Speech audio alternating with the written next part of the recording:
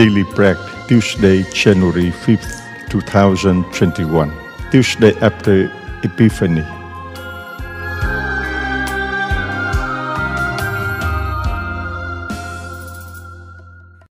Daily Bread, Tuesday, January 5th, 2021.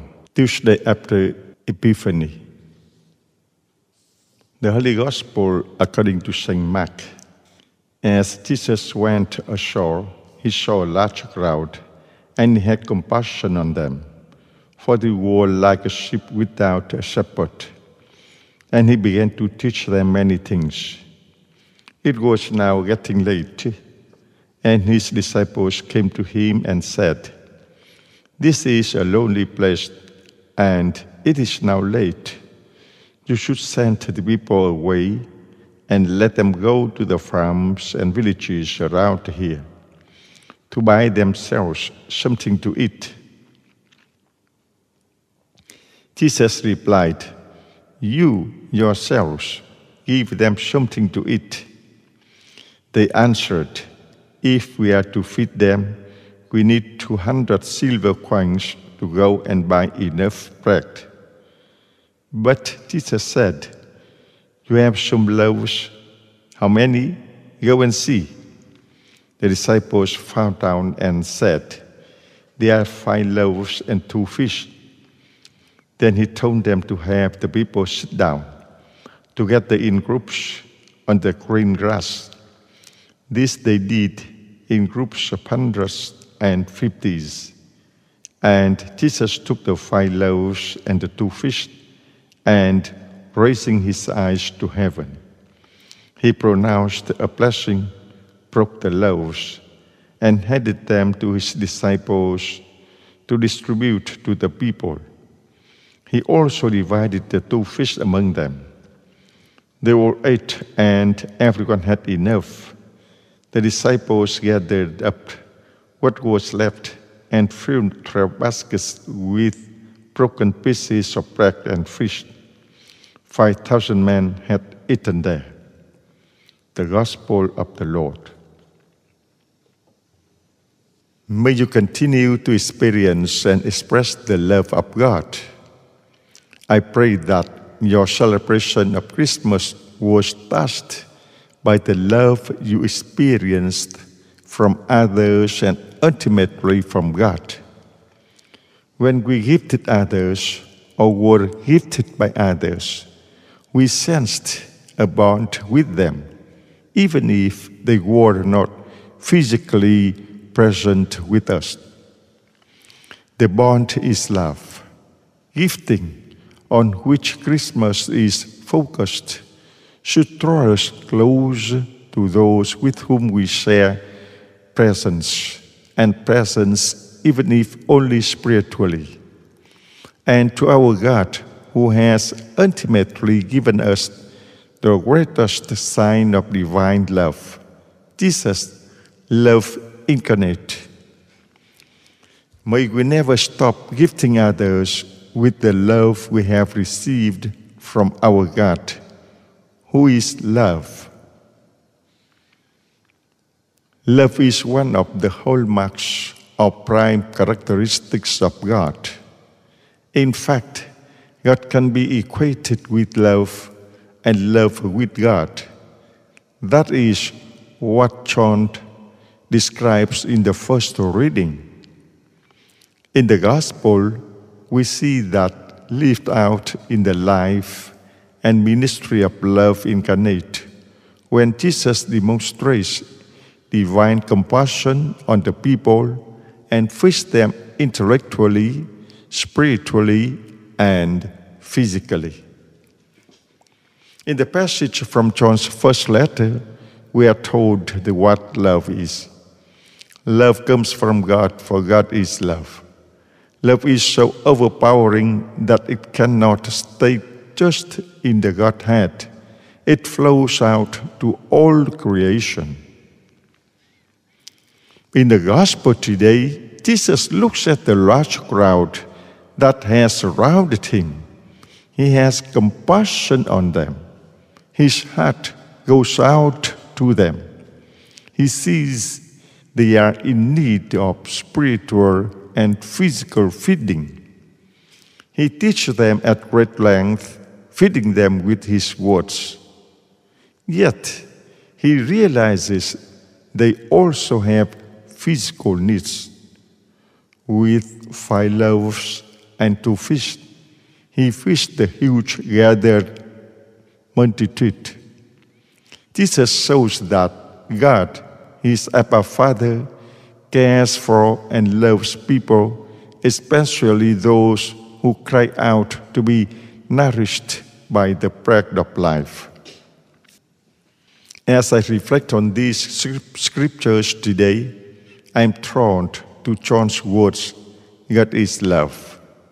I tried to put it into some sort of order. God, as the Trinity, loves. The love that flows between Abba Father, Son, and Holy Spirit is so potent that it cannot stay within the Trinity. It flows out into creation and specifically on humanity.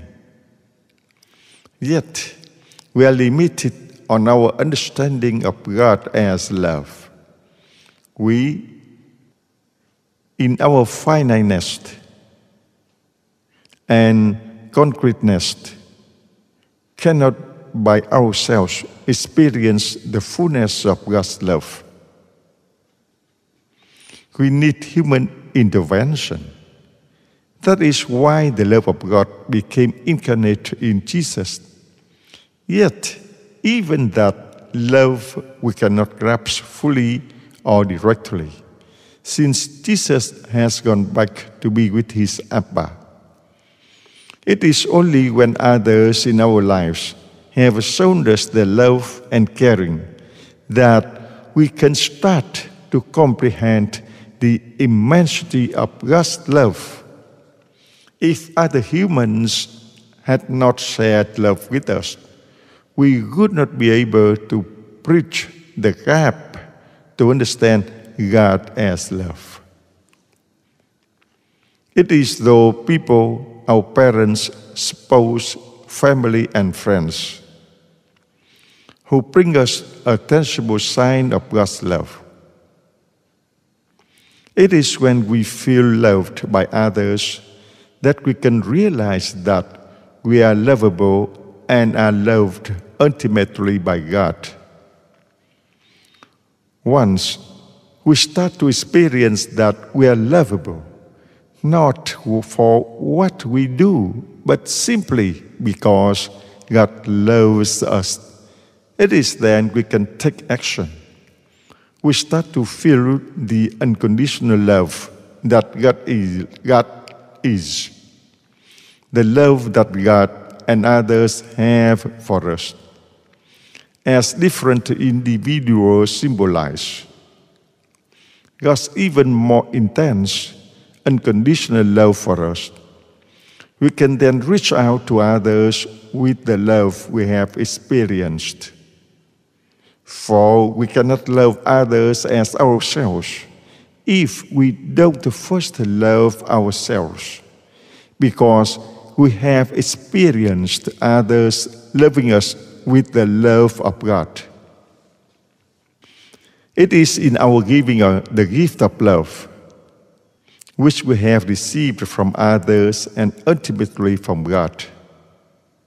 To others, that we demonstrate that we love God.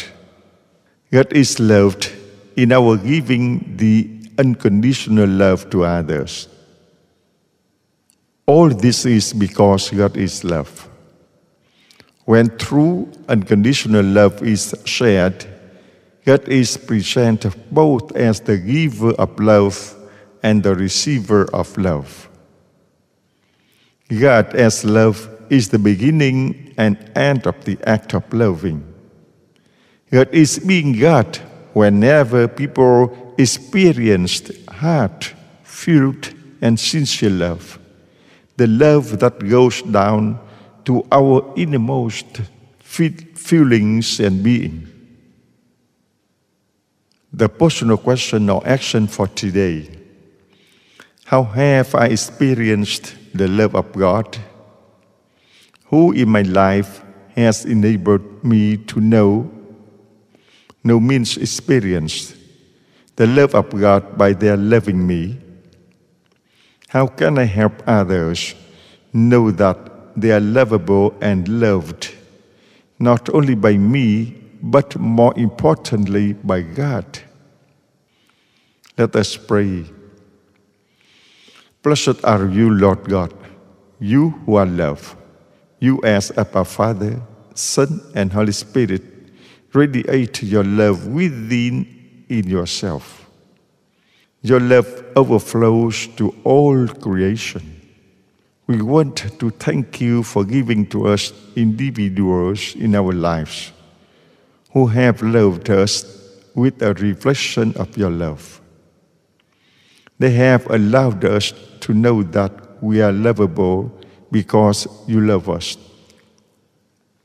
We praise you for allowing us to take the gift of love which we have experienced and to share that love with others so they too can feel lovable and loved by us, and firstly and ultimately by you. We give you our love in action as we love those whom you have placed on our journey to love you. You ask us to make the daily decision to love one another as you and your Son have loved us. Help us to realize each and every day the great love you have for us and share that love with others, thus giving you glory and honor and love by our participation in your loving. For you who are our one and only God, Abba, Son, and Spirit, forever and ever. Amen.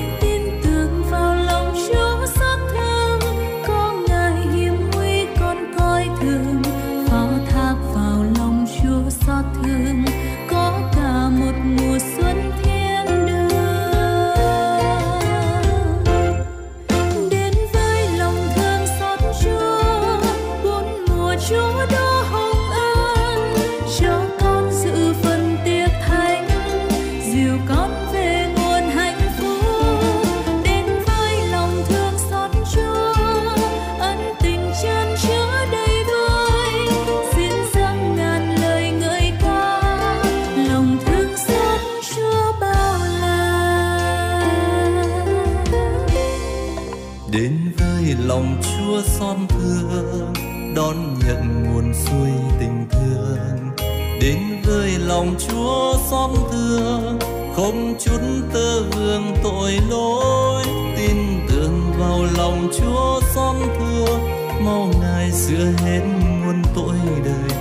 Bỏ thang vào lòng chúa xót thương, con được ngài diều bước